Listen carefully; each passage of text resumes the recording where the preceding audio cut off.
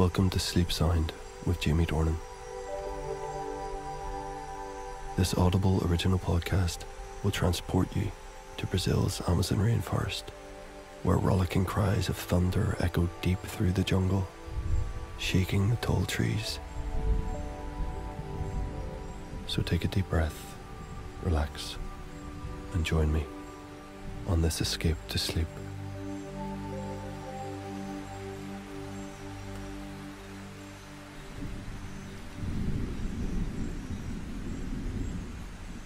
Midnight in the Amazon rainforest. A thunderstorm is roaring deep in the jungle. Up above, the night sky is so black it appears opaque. Water pelts down with almighty force, crashing, smashing, shaking the earth. For hours now, sheets of heavy rain have cascaded through the dark canopy thunder rumbling down to earth, rocking the skies.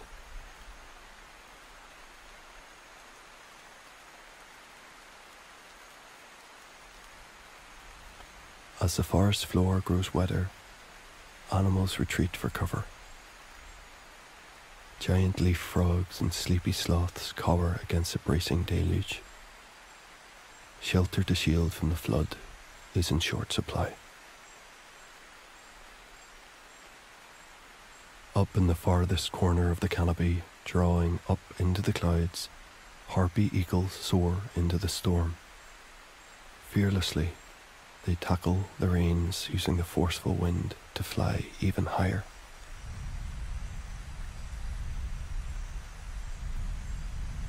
Then lightning strikes, terrifying in its boldness, the brightest of white lights have hours passed, or minutes? The echoes of propulsing, thundering rain conceal time, turn it elastic. In the warm, wet darkness of the forest, a rich scent rises from the earth like heat. There's healing in this downpour. As the torrent continues, water nurtures the earth. Thunder growls and retreats, growing quieter, quieter.